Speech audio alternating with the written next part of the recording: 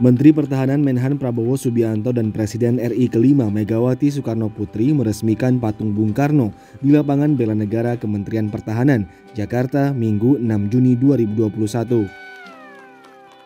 Menteri Pertahanan Prabowo Subianto mengatakan waktu peresmian sengaja dilakukan bertepatan dengan peringatan hari kelahiran Bung Karno yang ke-120.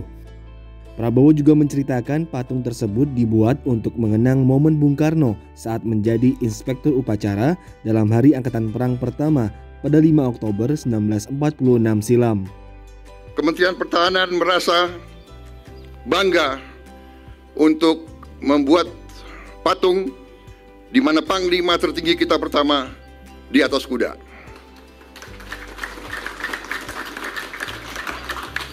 Hadirin sekalian, pada hari ini adalah tepat hari kelahiran sang proklamator. Karena itu, saya kira tepat pada bahwa kita telah memilih hari ini dan Ibu Megawati Soekarno Putri sebagai presiden kelima sekaligus juga adalah putri beliau bersedia untuk hadir sendiri dan meresmikan patung ini.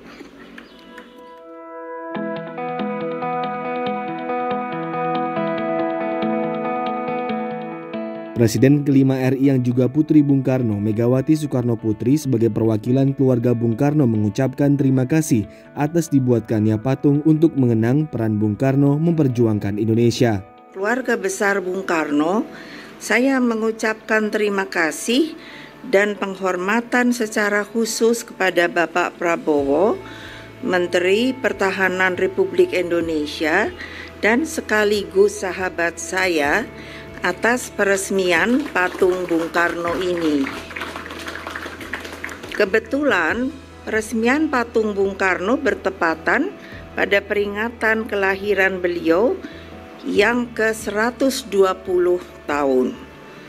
Jadi sungguh menurut kami keluarga sangat istimewa.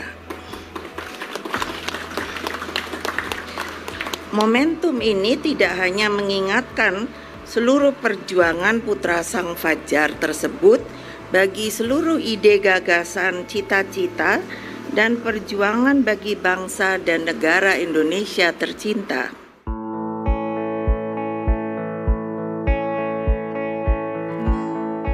Peringatan hari lahir Bung Karno juga diwarnai dengan acara peluncuran buku berjudul Bung Karno, Bapakku, Kawanku, Guruku, karya Guntur Soekarno yang juga merupakan putra pertama Bung Karno. Buku yang ditulis oleh Guntur Soekarno ini pertama kali dicetak pada tahun 1977. Guntur mengatakan buku tersebut ditujukan untuk anak muda yang ingin mengenal sosok Bung Karno. Ia juga mempersilahkan kalangan di luar anak muda untuk membaca buku ini dan mengenal sisi humanis Bung Karno.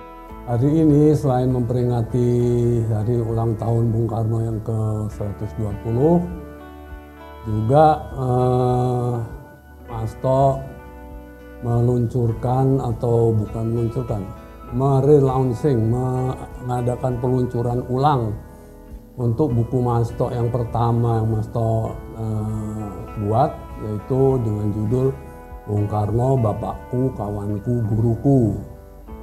Buku itu dicetak pertama sekitar tahun 1977 dengan harapan sebenarnya untuk dikenal atau dibaca oleh generasi muda Indonesia yang belum mengenal secara baik sosok dari Bung Karno. Tapi bukan hanya generasi muda, generasi tua juga senior-senior juga nggak ada salahnya baca itu buku karena itu buku menyangkut banyak sisi humanisme dari Bung Karno.